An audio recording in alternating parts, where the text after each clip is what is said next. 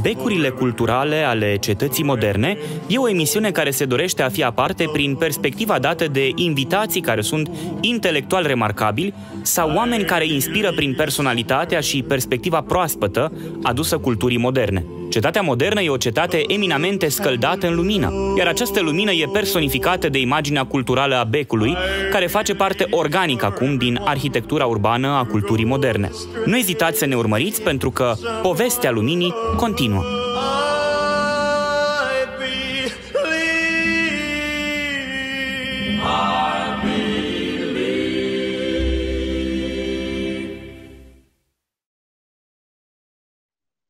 Bine v-am regăsit la o nouă ediție a Becurilor Culturale ale Cetății Moderne. Pentru cei ce nu sunt în apropierea unui aparat de radio sau nu ne ascultă din mașină, vă aducem aminte că emisiunea noastră poate fi vizionată și pe canalul de YouTube Becuri Spirituale și Culturale ale Cetății Moderne sau pe pagina de Facebook Radio Renașterea.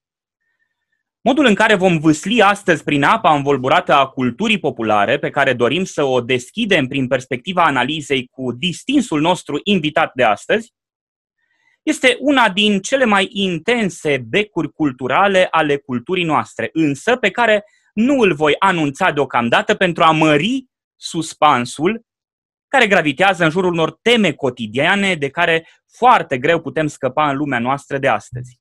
Astăzi vom vorbi despre cultura filozofică a politicii sau despre o politică filozofică. Evident și despre cultura spiritului și despre maniera înțeleaptă prin care aceste categorii ale gândirii umane ne dau lumea pe care o vedem, dar pe care o înțelegem astăzi din ce în ce mai greu. Mai ales dacă ne readucem aminte de întrebarea retorică, ce devine un light motiv pentru noi, pe care Părintele Mitropolit Andrei o ridică tuturor celor care încercăm să lucrăm cu sensibilitatea percepției către arta de a mai trăi frumos.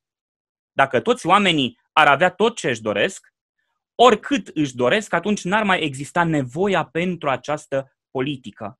Oricare ar fi înțelesul precis al activității complexe, cunoscute drept politică, atunci experiența umană nu ne poate oferi ceea ce ne dorim. În schimb, trebuie să lucrăm, să ne zbatem, să facem uneori compromisuri, uneori să luptăm pentru gândurile sau dorințele noastre. Făcând aceasta, ne dezvoltăm un limbaj care ne explică sau ne justifică pretențiile sau ne contrazice de cele mai multe ori răspunsurile la pretențiile altora.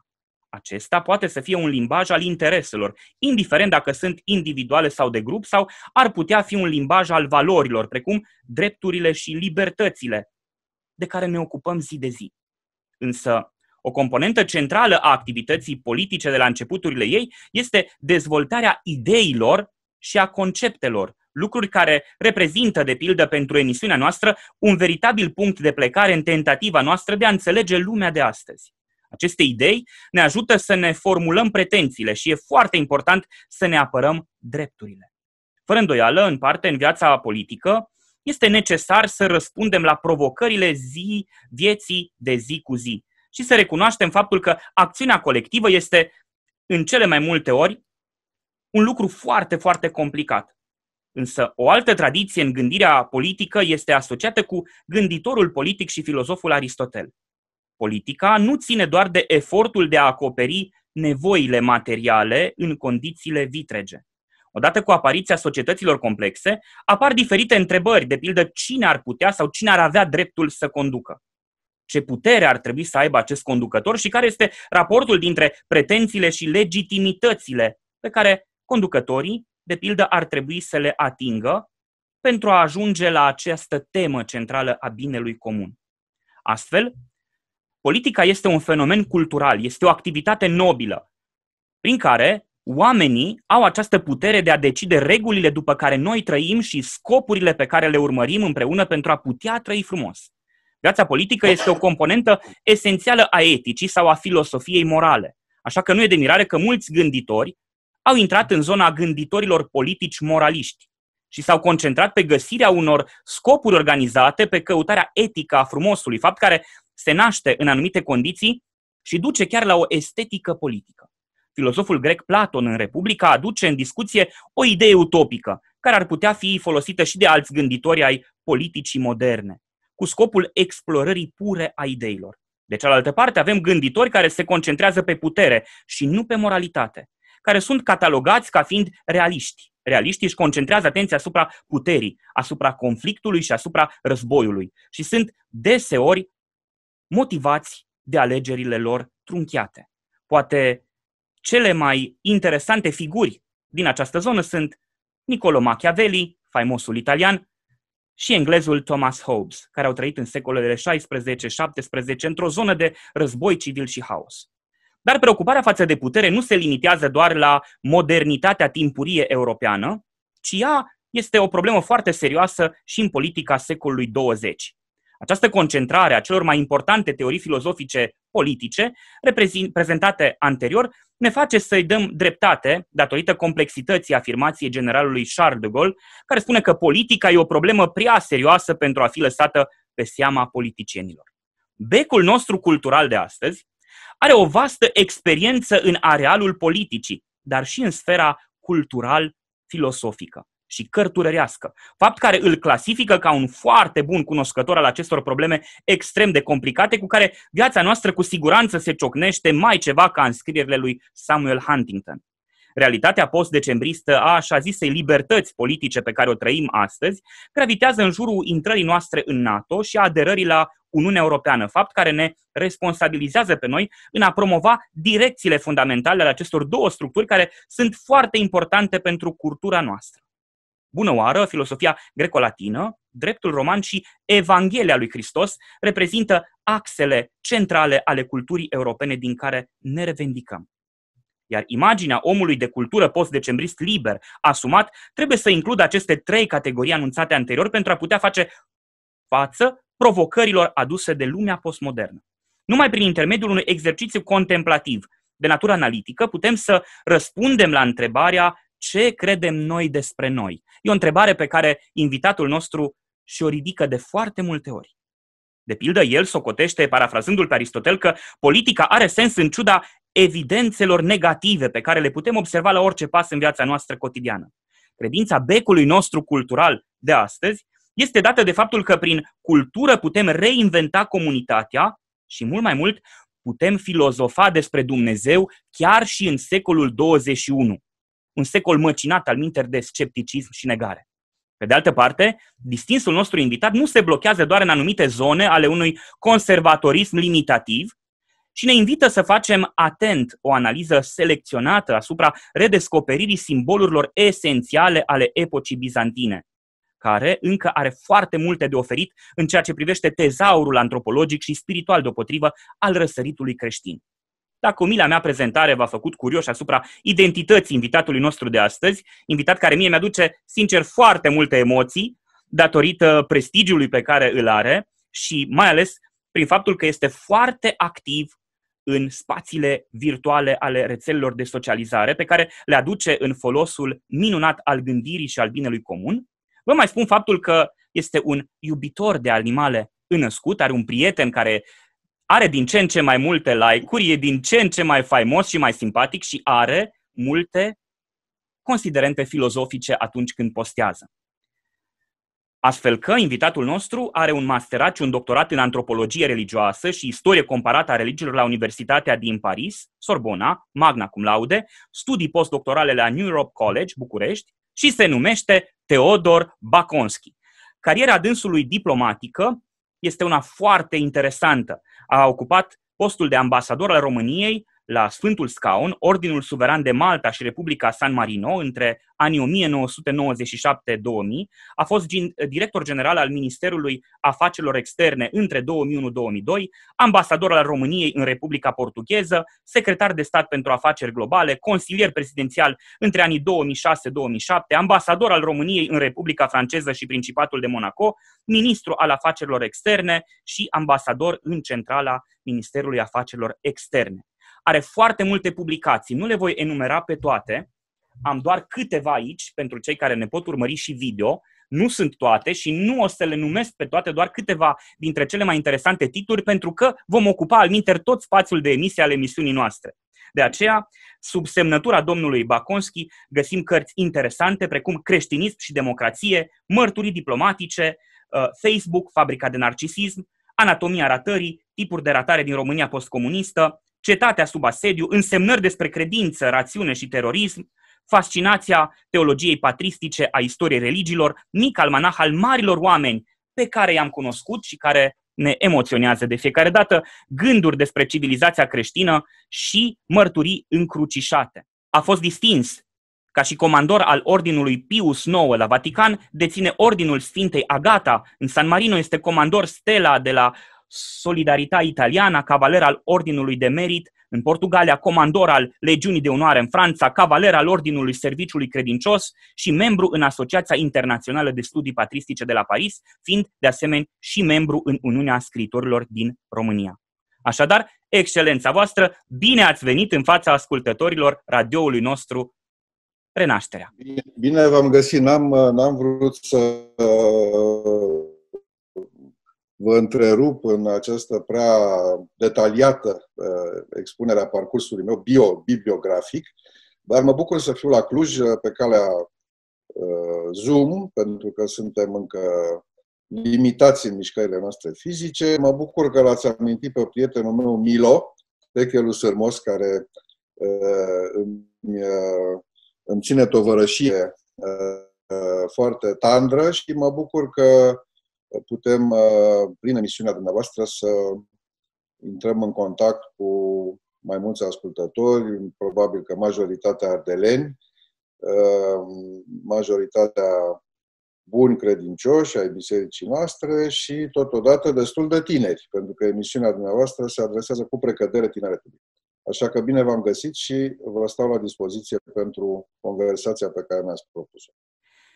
Domnule Teodor Baconski, excelența voastră, pentru cititorii dumneavoastră și pentru cei care vă cunosc mai îndeaproape biografia, extrem de vastă, așa cum, cum ne-ați atras atenția, precum și pentru mare parte din ascultătorii fidele ai postului nostru de radio, numele dumneavoastră este strâns legat de un mentorat spiritual și mai ales cărturăresc oferit de vrednicul de pomenire Mitropolitul Bartolomeu. Prima întrebare pe care aș dori să vă adresez excelenței voastre este maniera în care v-a influențat viața și cariera, precum și orientarea dumneavoastră în politică, respectiv diplomație, și care este mentoratul pe care vrednicul de pomenire ierarh cărturar vi l-a oferit pe parcursul formării dumneavoastră?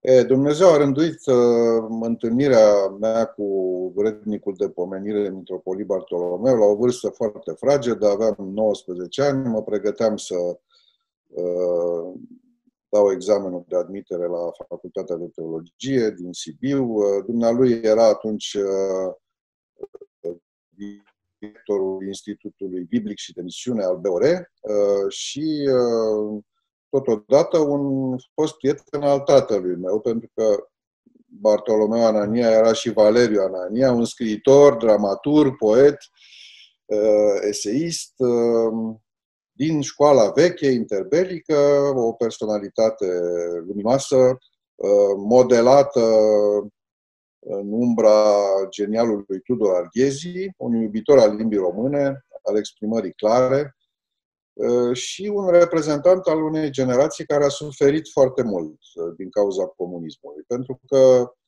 într-adevăr, așa cum mi-a povestit adesea Mitropolitul Bartolomeu, de mai târziu, pe atunci arhimandritul Bartolomeu.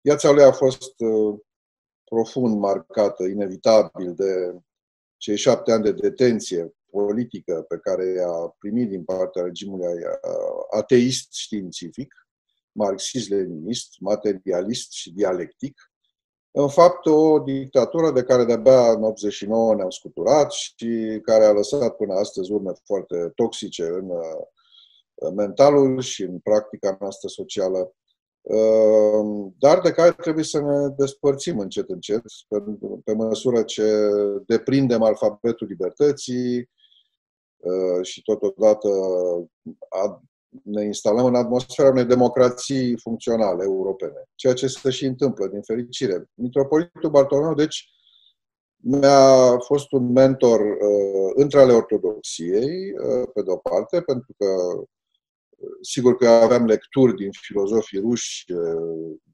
aflați în exil, citisem mai multe mari texte de filozofia religiei, dar teologia propriu-zisă a fost înfățișată la început prin conversațiile cu părintele Anania, cum mi-am spus toată viața, indiferent de câte funcții și responsabilități a avut. Și părintele Anania era un om care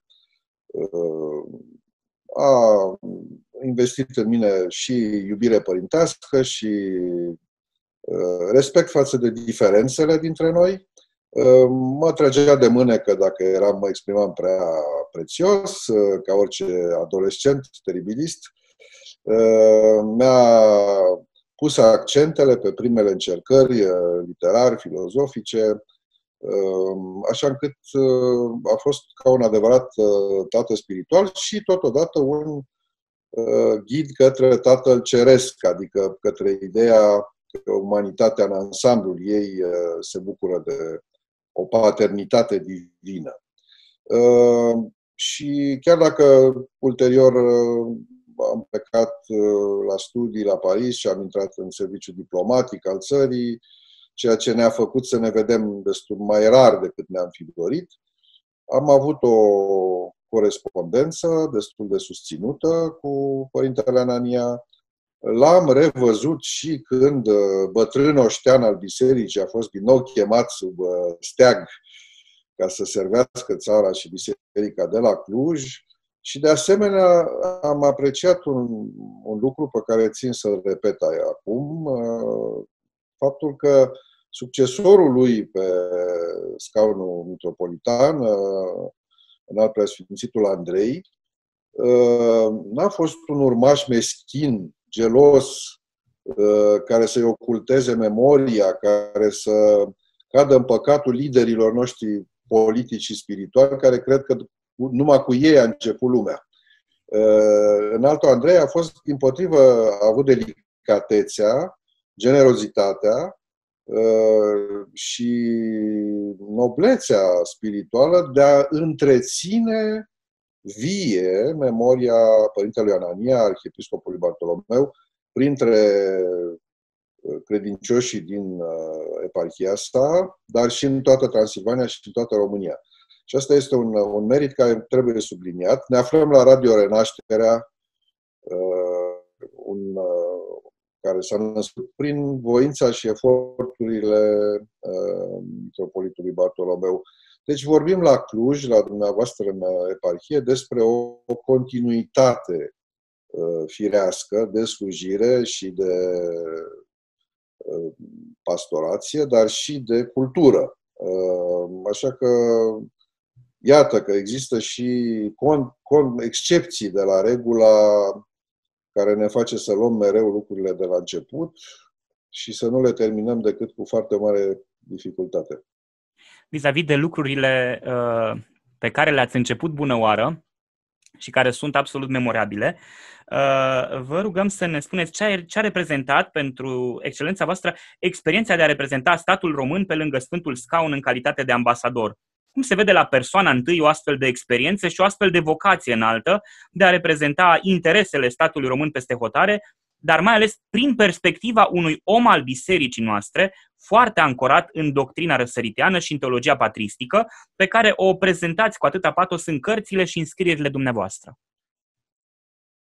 Așa a rânduit Dumnezeu. Uh, România din anii 90, uh, mai ales după 96-7, când a avut loc prima alternanță la putere uh, prin uh, coaliția uh, Convenției Democratice. Anii aceia mi-au permis și mie și altor tineri cu studii recent încheiate în Occident să ne asumăm misiuni în democratizarea și apropierea țării de Uniunea Europeană. Iar uh, Papa Ioan Paul al II-lea, un personaj legendar, un polonez cunoscut în toată lumea pentru rezistența lui anticomunistă, pentru conservatorismul lui moderat și luminat, pentru uh, capacitatea de a uh, deschide mesajul evanghelic către toate zările, de la dialogul ecumenic între bisericile creștine până la dialogul interreligios, se vine acest uriaș papă cu un lung pontificat și care a rămas uh, profund în memoria colectivă a întregii umanități, uh, a fost primul șef de stat, să zic așa, între ghilimele, de fapt, Vaticanul, Sfântul Scaun e doar sediu central al guvernului Bisericii Catolice, dar uh, un stat atipic, o teocrație, de fapt nu, nu o democrație, și un sediu simbolic al istoriei Occidentului Latin. Deci al întregii Europe de vest, din perioada fericită, când biserica era nedespărțită, până la aventurile istorice moderne ale, din al doilea mileniu, să zicem așa. E bine, la 34 de ani am ajuns ambasador, cel mai tânăr ambasador al României pe vremea aceea și uh, m-a ajutat să mă descurc în responsabilitatea ambasadorială faptul că studiasem teologie și istoria religiilor, cunoșteam istoria Bisericii Catolice, Cunoșteam diferențele și divergențele, dar și fondul comun dintre cele două biserici apostolice de, de răsărit și apus. Uh, așa că pregătirea mea intelectuală m-a ajutat să intru într-un dialog firesc uh, cu uh, cardinalii de la Curia Papală, cu oamenii papei Ioan Paul al II-lea, străluciți în majoritatea lor și destul de deschiși către dialogul cu lumea ortodoxă. Uh, papa însuși ținând foarte mult să facă o breșă, să spargă și acest zid care separa bisericile. Uh, și tema misiunii mele a fost cum să deblocăm diversele rezistențe, opoziții interne, externe, față de proiectul unei prezențe fizice într-o vizită oficială, apostolică și ecumenică, a, la Papa Ioan Paul al II-lea în România. Ceea ce s-a și întâmplat în 7-9 mai 1999. A fost o vizită de mare impact internațional, o vizită care a spălat obrazul murdării de mineriade al României de tranziție și care a dat uh, un mesaj foarte important, uh, urbi et orbi, ca să zic așa, un mesaj că România este o țară europeană, este o parte a civilizației creștine, este o, o, un stat compatibil cu restul clubului uh, occidental. Și uh, cred eu că această vizită a lui Ioan Paul al II-lea la București, întâlnirea lui cu Patriarhul Teotist, cu președintele de atunci, Constantinescu, cu obidita ierarhie greco-catolică, uh, a reprezentat un uh, pașaport de civilitate și de compatibilitate între România și Occident, care a slujit apoi în procesul nostru sinuos de integrare în NATO mai întâi și apoi în Uniunea Europeană. Deci, uh, slavă Domnului că privind înapoi, văd acele eforturi, șantierul diplomatic al vizitei Papei Ioan Paul II în România ca pe un punct luminos în biografia mea și mă bucur că Pronia a rânduit această modestă contribuție la parcursul uh, de reunificare a României cu restul statelor europene. Bună oară, vorbeați foarte frumos despre uh, ideea de moștenire culturală, despre memorie. Legat de memorie, chiar și la nivelul acesta amatoricesc al întâlnirilor noastre jurnalistice, am uh, o mică inserție telefonică a unui foarte bun prieten uh, și clujan, bună oară, care are câteva cuvinte de zis în ceea ce privește întâlnirea dintre domnia sa și excelența voastră. Sunteți o voce apreciată și călduroasă și apreciată de către studenții Universității Clujene. Avem onoarea cu... Profesor Vasile Timiș de la Universitatea Babeș bună seara, vă salut respectuos. Domnule profesor, spuneți-mi cum este omul Teodor Baconski și care este contextul în care l-ați întâlnit? Da, în urmă cu, iată, 30 de ani, aproape eram uh, la universitate la Neuchâtel, în Elveția și într-un context uh, am făcut un pelerinaj, o vizită la Paris. Un coleg din București îl știa pe excelența sa și așa se face că ne-a primit într-o scurtă discuție și am rămas uh, impresionat atunci de zonele de cercetare și de abordările interdisciplinare pe care domnia sa le avea încă de pe atunci, fiind foarte tânăr. După aceea l-am cunoscut în diferite ipostaze, l-am urmărit mai degrabă ca și ambasador, ca și scriitor și ceea ce mi s-a părut interesant uh, la domnia sa este modul în care reușește să convingă asupra faptului că Sfinții Părinți sunt mereu actuali, sunt actuali în sociologie, sunt actuali în psihologie, sunt actuali în pedagogie și totodată am văzut la domnia sa o formă de a mărturisi consecvent și temeinic din postura de laic și de a convinge și de a atenționa că se poate trăi în Duhul Evangheliei și în vremurile noastre și evident putem fiecare dintre noi să găsim o formulă de a media lucrurile în viața noastră în așa fel încât să fim aproape de principiile evanghelice și evident să ne adaptăm la provocările vieții contemporane. Este interesant uh, și modul în care reușește să captiveze prin scris și prin uh, conferințele pe care le, le are și cred că putem, ce uh, trebuie fiecare dintre noi să observăm că Dumnezeu i-a dat acest dar de a se mișca foarte ușor în câmpul cultural și cred că aceasta este o șansă pentru excelența sa, dar evident și pentru cei care îl citesc și îl ascultă deopotrivă. Vă Dom- succes în emisiune. Domnule profesor, vă mulțumim mult pentru intervenția dumneavoastră. Vă mulțumesc. Acum, până reușim să tragem concluziile acestei mărturii foarte interesante a domnului profesor Vasile Timiș, propun să facem o scurtă pauză muzicală în alegerea invitatului nostru de astăzi. E vorba despre Tracy Chapman, You Are The One. Vă urăm audiție plăcută! Mm-hmm.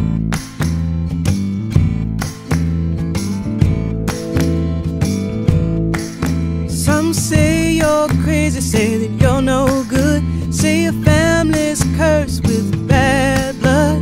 But I think you're cute and misunderstood. I wouldn't change you if I could. Let talk you down and call your names. My mind's made up, it ain't gonna change. Sure in my heart, happy and free. You're the one, you're the one, you're the one for me. You're bitter, think you're mean, uncouth, untamed, and unrestrained. I think you're sensitive and sweet.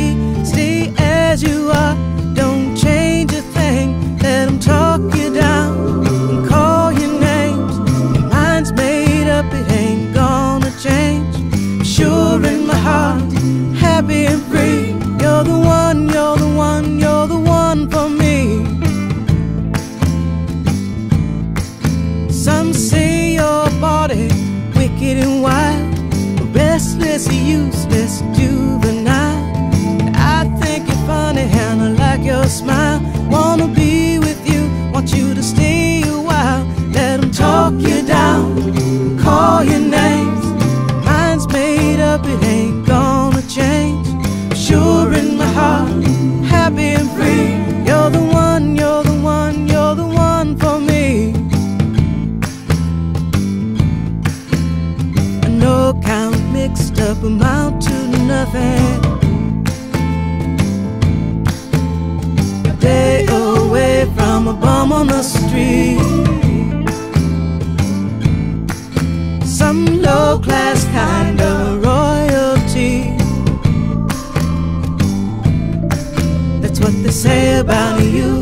talking to me.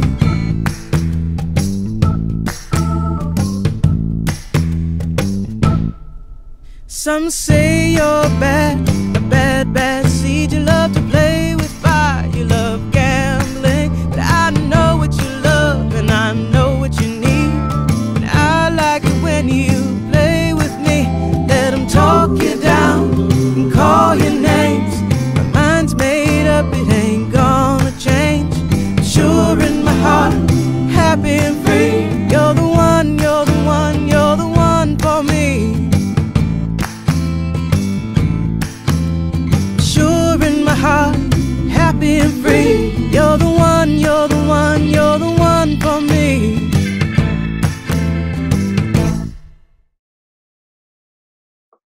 am revenit în studio. Vă readucem aminte că ediția noastră de astăzi a becurilor culturale ale cetății urbane moderne îl are ca invitat pe distinsul diplomat și om de cultură Teodor Baconski.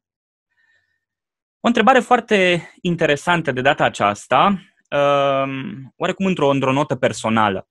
L-ați cunoscut pe Umberto Eco în uh, cariera dumneavoastră diplomatică și academică deopotrivă? De ce ridic această întrebare? Pentru că în multe din scrierile dumneavoastră și mai ales dintre postările dumneavoastră pe rețelele de socializare, ce reprezintă pentru cunoscătorii de teologie și de filozofie bunăoară metode de excepție în a te inspira sau de a-ți începe ziua într-o manieră frumoasă, pe alocuri chiar anecdotică, se poate observa la o a doua sau a treia lectură faptul că în subsidiar mai există un sens al mesajului. De pildă, pentru Umberto Eco, explicația aceasta era dată de pădurile sensurilor narrative sau a metalimbajului.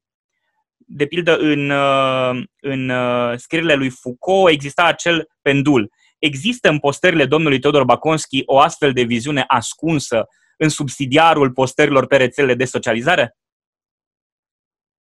Uh, sigur că nu, nu fac postări sibilinice, sopice, că suntem liberi și nu are rost să ne cenzurăm, dar uh, îmi place să mizez și pe puterea ironiei și pe puterea ambiguității, uh, adică a aluziei, care presupune o lectură printre rânduri.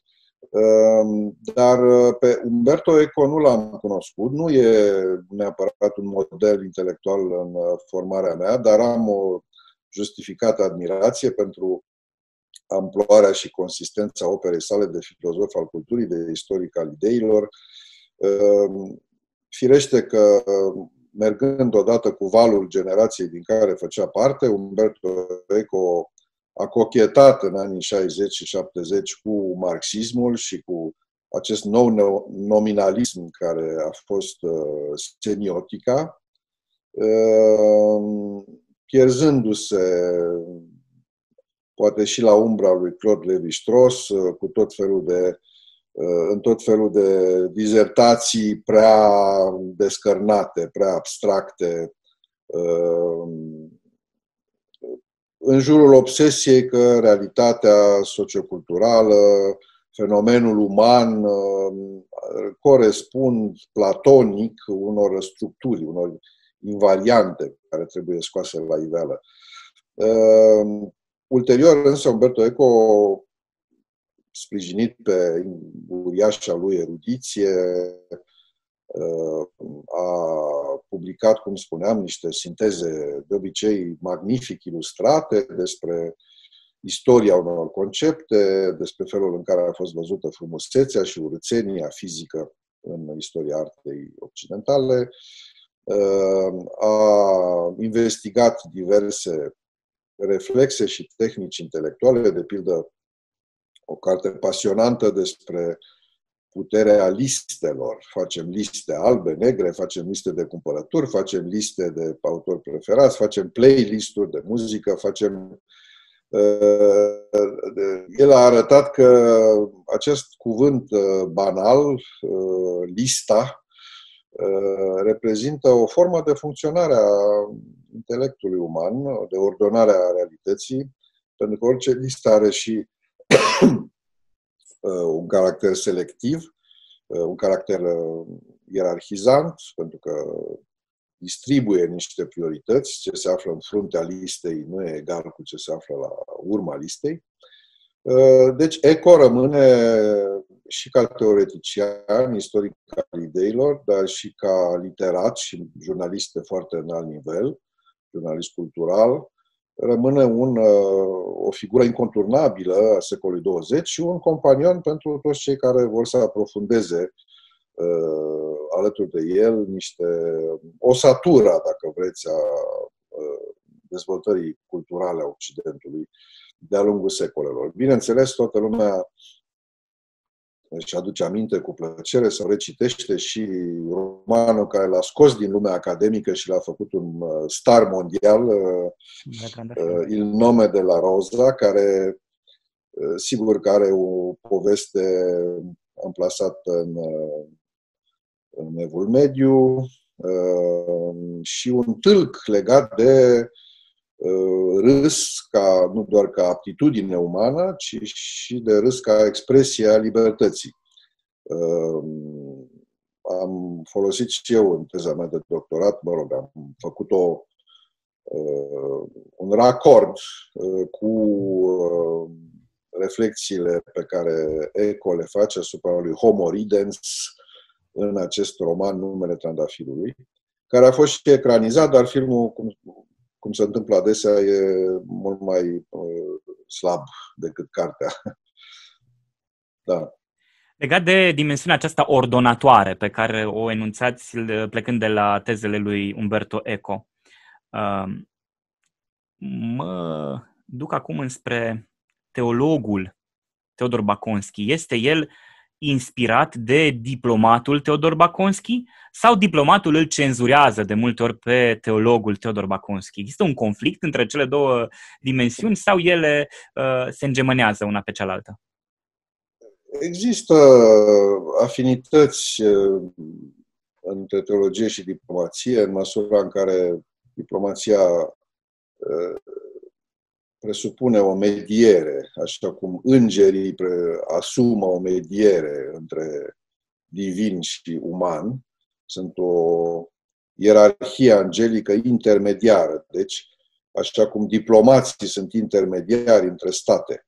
Uh, dar, dincolo de această analogie, uh, sustenabilă, cu multe argumente și observată de mult, Ehm, în cazul meu, am avut ehm, privilegiul și totodată păcătoasa ambiție personală de a ilustra deopotrivă cele două registre, ceea ce m-a pus într-o situație ingrată, pentru că uh, n-ai numai ai amici și admiratori, fani uh, și susținători, și, ci și uh, adversari sau oameni care te invidiază, pentru că na, limitele naturii umane uh, sunt uh, mereu prezente, așa încât uh, de multe ori diplomații m-au văzut ca pe un scriitor pierdut, ca pe un umanist pierdut printre tehnocrații diplomației și uh, scriitorii m-au văzut ca pe un diplomat de carieră care are și un hobby uh,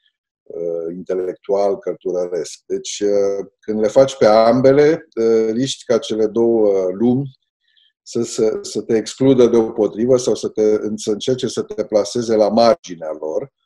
Dar uh, asta nu m-a, nu m-a împiedicat să văd o corespondență legitimă între uh, vocația diplomatică și vocația de intelectual public.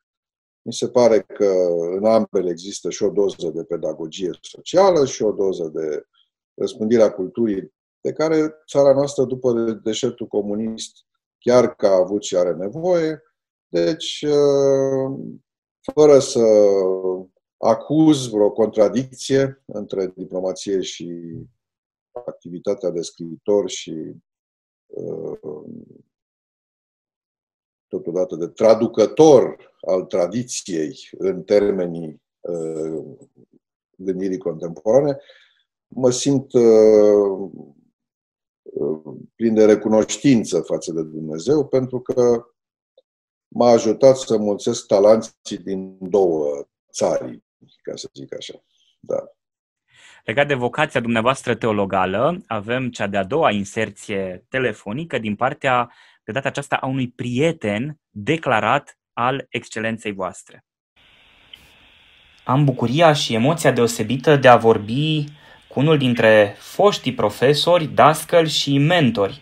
E vorba despre părintele Jean Nicolae de la Alba Iulia, unul dintre cei mai autentici teologi și oameni de cultură ai spațiului românesc.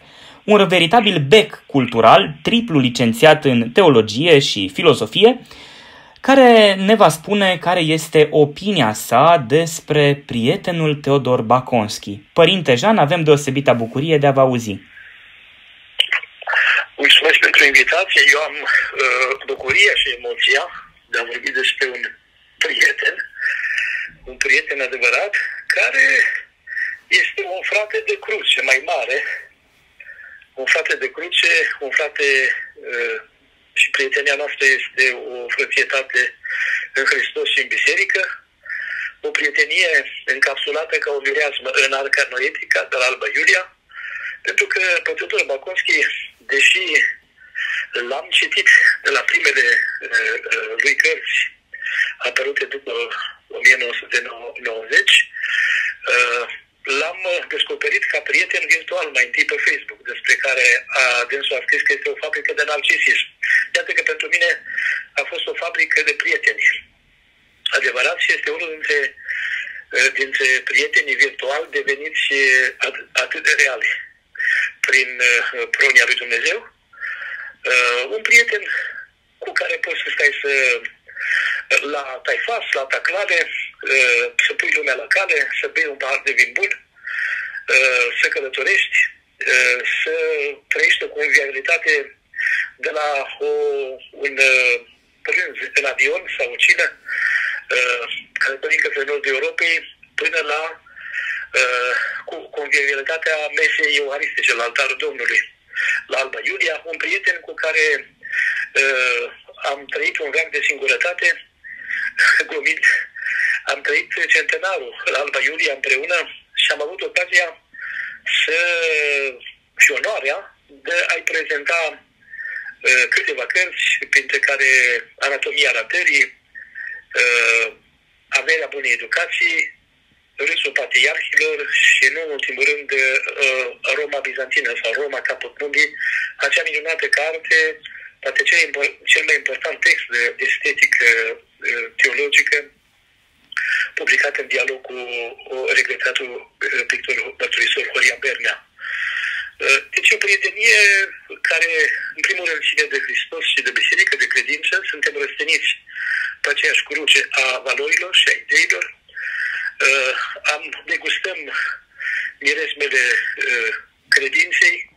Ne bucurăm, ne, ne bucurăm că în această lume, eu mă bucur, în primul rând eu, că în această lume tulbură avem spirite limpezi care ne pot călăuzi cărțile dânsului și opiniile exprimate cotidian uh, pe Facebook sau în altă parte sunt, uh, sunt uh, gânduri călăuzitoare care ne ajută să depășim mai ușor presiunea veacului și de multe ori aceste nebuloase și neclarități ale, ale zilei. E un prieten adevărat pentru care îi mulțumesc lui Dumnezeu și oarecum am oferit ocazia de a reînnoi legământul acestei prietenii, pentru că, așa cum reînnoim legământul botezului la Paște, în, atunci când preotul ne cheamă să luăm lumină, tot așa mi-a oferit în această, în această zi ocazia să reînnoiesc legământul acestei minunate prietenii, pentru care, repet, îi mulțumesc lui Dumnezeu. Părinte profesor, vă mulțumim mult pentru această descriere a unei frumoase prietenii pe care o purtați domnului uh, Teodor Baconski. Vă mulțumim! Cu tot dragul, Doamne ajută!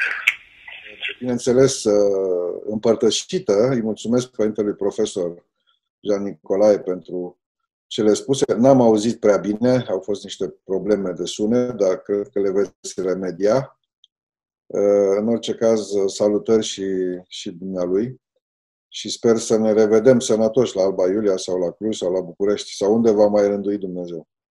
Pe mine m-a fascinat un cuvânt din descrierea uh, Sfinției sale.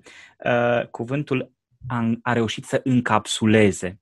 Vis-a-vis de tentativa dumneavoastră de a încapsula uh, cât mai mult din metafizica aceasta spirituală sau din uh, teologia patristică, care este cartea care vă este cel mai aproape de suflet?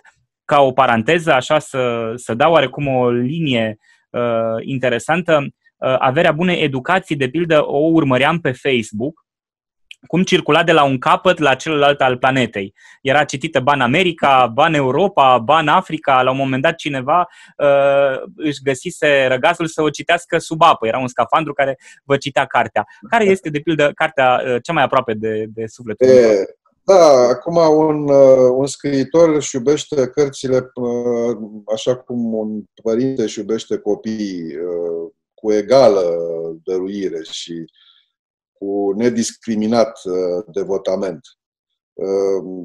Ar fi injust față de ele să facă o ierarhie în funcție de succesul lor relativ. Nu? De pildă, averea bunei educații care s-a adresat părinților, familiilor, în primul rând, a fost anul trecut un bestseller.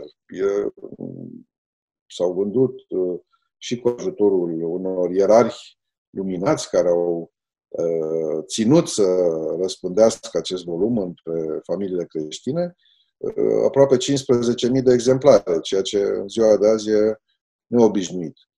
Sigur că asta m-a bucurat, dar cărțile mele, câte sunt, unii spun că sunt excesiv de prolific, dacă prolificitatea admite grade de comparație,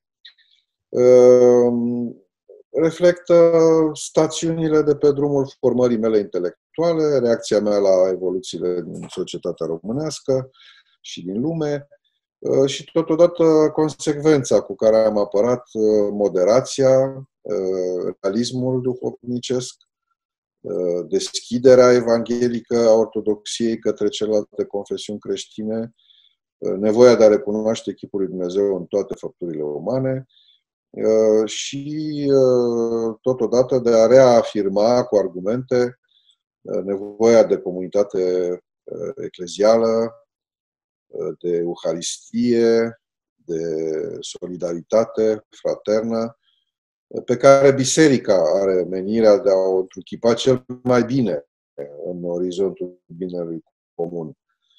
Fără această evangelizarea fiecarei noi generații, ne rupem de trecut, prezentul devine confuz uh, și cade pradă relativismului sau nihilismului, iar viitorul nu mai poate avea nicio întruchipare, pentru că ni se pare că ne apropiem de, de sfârșitul unei lumi fără sens. Doar Evanghelia lui Hristos, tradiția biblico-patristică și ulterioară a bisericii, deci comuniunea inteligentă și competentă cu patrimoniul Doar aceste lucruri ne ajută să ținem uh, busola noastră morală și socioculturală uh, de, în stare de funcționare, adică capabilă să ne arate nordul, uh, ca să nu rătăcim.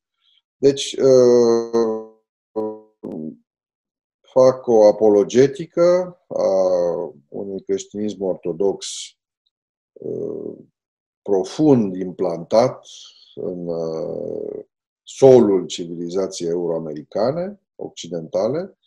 Totodată caut să prezint fața subtilă și mereu radioasă a Duhului patristic, care animă adevărata ortodoxie și care ne ajută, de pildă, să evităm fundamentalismul, pentru că părinții bisericii au fost, ca exegeți ai Sfintei Scripturi, primii care au vorbit despre diversele nivele de semnificație ale textului biblic și uh, care ne-au uh, sfătuit să nu citim uh, Biblia literal, ci să punem întotdeauna fiecare cuvânt din Sfânta Scriptură, fiecare pasaj, fiecare pericopă evanghelică, uh, în contextul propriu, din punct de vedere gramatical, filologic, istoric, spiritual, moral și mistic. Deci ne-au arătat că Biblia e o cutie de rezonanță uh, a vocii divine, care trebuie ascultată în fiecare generație, actualizată, și ce, actualizarea presupune, bineînțeles, o, o armonie între teologie și științele omului, între teologie și științele pozitive, între teologie și cultura fiecare epoci, ceea ce uh, ne străduim cu toții să facem, chiar dacă s-au înmulțit acuzațiile că biserica privește doar la trecut, uh, trăiește din trecut și nu are viitor. Acum, orice creștin uh, botezat, uh, creștin, uh, știe că biserica e o, mai mult decât o societate o omenească. Nu e ONG, nu e o, o asociație, ci are o natură mistică și teandrică. Dar teologii au, într-adevăr, chemarea astăzi de a traduce teologia în limbajul culturii contemporane, fără să o transforme în ceva uh, schematic, superficial, într-un ambalaj comercial, uh, fără să uh, o trivializeze. Dar uh, eu zic că biserica are resurse, mai ales dinspre Transilvania, nu vreau să vă măgulesc uh, patriotismul local, dar uh, are resurse și trebuie să le folosească mai bine pentru ca uh, și generația actuală, cu toate trăsăturile ei, cu agenda ei, cu limbajul ei, cu opțiunile ei, să rezoneze la cuvântul veșnic al lui Dumnezeu și veșnic dătător de viață. Pentru asta, bineînțeles, trebuie mult mai puțină limbă de lemn și teologia e pândită de asaltul stereotipurilor, a clișeelor, a formulelor care prin repetiție se uzează și nu mai spun nimic. E deci nevoie de o prospețime uh, a reflexiei teologice, de interdisciplinaritate, de deschidere, fără ca asta să dizolve specificul discursului teologic. Legat de zona aceasta a popular culture, a modernității și a spațiului teologal, vorbiți-ne în câteva cuvinte despre ultima carte pe care pot să vă asigur că mulți dintre cititorii de la Cluj o așteaptă cu nerăbdare. Uh, este, eu am, am avut în bibliografia mea mai multe tipuri de carte. O carte academică, cum a fost teza de doctorat, sau uh, Fascinația tradiției, uh, carte de eseu pe o temă, deci de eseu monografic, cum a fost să spunem Facebook, Fabrica de Narcisism, cărți în dialog, am cel puțin 4-5 în diverse registre, pentru că mă stimulează dialogul. Dialogul e Uh, dovada autenticității umane uh, la lucru uh, și totodată colecții de eseuri, pentru că dacă lași ce ai scris texte de tip eseistic în reviste culturale, se îngroapă acolo și foarte mulți nu le-au citit, așa încât e bine să le strângem volum. Volumul care stă să apară la Polirom și care se numește efectul de lupă, câteva priviri asupra culturii contemporane, um, strânge eseurile mele din dilema veche din ultimii trei ani și ceva. Acolo scriu de două ori pe lună um, și am ținut să regrupez această uh, recentă recoltă eseistică în câteva uh, tematici care au devenit cele patru secțiuni ale volumului, și anume uh, noi și Occidentul, noi între noi, românii, noi și biserica și noi și cărțile esențiale. Deci veți găsi acolo destul material care se poate citi uh, în ritmul și tempoul vieții noastre de azi, uh, și în metrou, și în tren, și într-un șezlong, în weekend. Uh, sunt texte scurte, destul de dense. Vreau să cred că îndelungata mea practică scriitoricească îmi permite și de data asta să mă exprim uh, și frumos și elegant și totodată concis, fără să bat câmpii prea mult. Așa încât uh, mă bucur că și la Cluj această carte, această nouă carte va fi primită. M-aș bucura ca ea să fie pe noptiera sau pe lista de așteptare a teologilor și nu doar a lor, a filologilor, a celor care studiază științe politice. Aveți o alma mater care deține tristul record de a fi singura universitate românească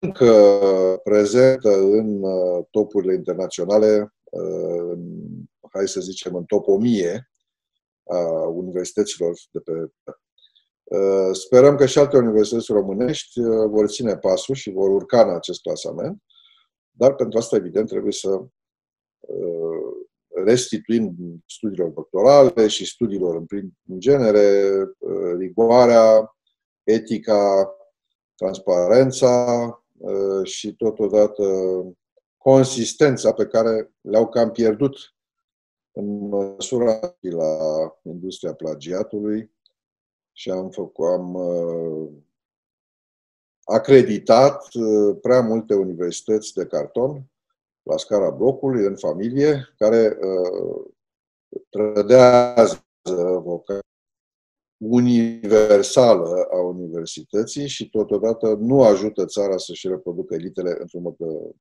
adecvat.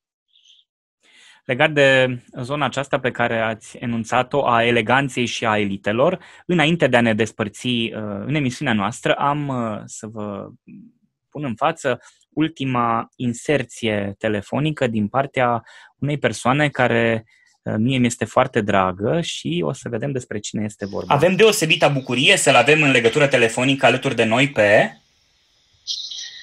Sunt Părintele Episcop Ignatie al Hușilor. Preasfinția voastră sunteți un om legat organic de tot ce înseamnă tinerețe, prospețimea spiritului autentic.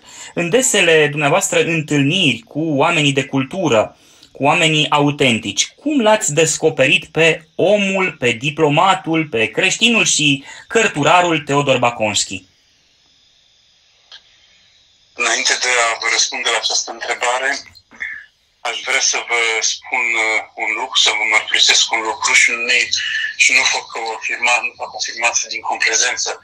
Să știți că aveți o mare șansă să uh, vă fie interlocutor uh, domnul Teodor Baconski, pe care eu personal îl apreciez uh, foarte mult, foarte mult. Ne leagă așa o, o relație de suflet, o căldură sufletească unul față de, față de celălalt. Cum l-am cunoscut eu pe domnul Todor Babkovski în două feluri. Prima dată l-am cunoscut pe cale livrescă, în sensul că eram student și cumpăram uh, săptămână de săptămână dilema, care, așa cum spune domnul Baconski, atunci, pe vremea aceea, nu era veche. Și domnul Baconski, în pagina din polul opus, avea o rubrică intitulată Turn înclinat. Și acolo l-am descoperit uh, Uh, prima dată pe, pe domnul Baconski, adică l-am descoperit în scrisul, în scrisul uh, dânsului și mi-a plăcut, evident, student fiind. Ulterior uh, i-am cumpărat toate cărțile și la zi cu toate cărțile scrise de domnul Baconski. A doua manieră sau a doua variantă de, de cunoaștere, să spunem, a domnului Teodor Baconski, a fost una fizică, în carne și oase, în sensul că l-am invitat la Vastui la o conferință, la o conferință preoțească și, desigur, prezentând una dintre cărțile dânsului pe care eu o consider fundamentală pentru orice, orice părinte sau pentru orice mamă, pentru orice, orice tată. Este vorba de cartea Averea bunei, bunei educații. Prin urmare, pentru mine, domnul Baconski, de-a cărui susținere m-am bucurat în totdeauna, este o șansă că Providența ne-a întâlnit și mi l-a scos în, mi l-a scos în, în cale. Nu vreau să-i fac acum un, așa, o, un, o descriere, însă dacă mă îngădui și se poate câteva cuvinte cum îl văd eu pe domnul Bacorski. Uh, sunt șapte cuvinte la care m-am gândit, șapte cuvinte, exact șapte cuvinte, uh, prin care eu aș îl înțeleg, percep, uh, îl simt apropiat pe domnul Bacorski. În primul rând, luciditate în idei, frumusețe în stilistica scrisului, discernământ întotdeauna în dezbatere, artă, arta de a face juncțiunea dintre, sau între credință și rațiune. 5. Condescendență în uh, comportament, aterical în gândire, în sensul că nu este crispat și nici uh, excentric în a aborda subiecte extrem de sensibile. 7. E un om minunat. Și mulțumesc pentru faptul că mi este alături în proiectele culturale pe care noi le punem în uh, sfera publică, să spunem, aici la uși. Preasfinția voastră, vă mulțumim foarte mult pentru sufletul împărtășit și pentru faptul că ne sunteți alături în acest demers al nostru.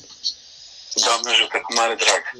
Binecuvântare m-a făcut să-mi plec privirea acest, acest portret prea generos și să mă bucur încă o dată că în ierarhia sinodală și-au făcut apariția figuri atât de promițătoare care înțeleg lumea de astăzi și uh, suflet, zbaterile sufletului contemporan, inclusiv printre tineri, uh, și care părintește dincolo de orice limbă de lemn, că tot vorbeam despre limba de lemn, în mod autentic uh, își asumă această prezență părintească modelatoare.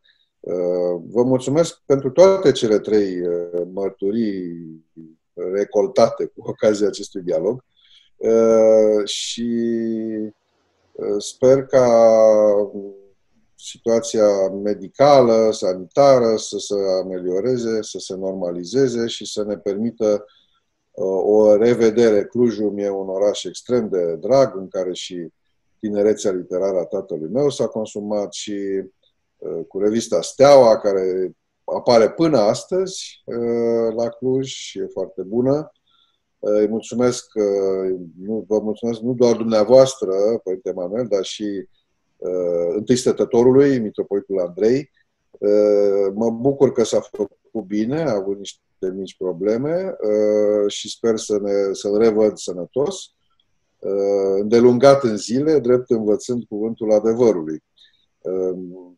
Până una alta, dacă mai aveți vreo întrebare, vă răspund. Dacă nu... Întrebări ar fi până mâine, însă timpul alocat emisiunii noastre este pe final, așa că Domnule Teodor Baconski, vă mulțumim mult că v-ați rupt din, din timp să stați la Cluj, să fiți becul nostru cultural al acestei ediții. Mulțumim și ascultătorilor postului nostru de radio, care... A, în, în orice caz, ca să fac o glumă, sper că n-am călcat pe bec. Tura asta nu, ați fost becul. Tot vorbiți despre becuri culturale. Vă mulțumim, mulțumim și ascultătorilor care ne sunt alături și vă dorim multă sănătate și inspirație în tot ceea ce faceți. Cu curaj, speranță tuturor, toate bune. Vă mulțumim, la revedere! La revedere!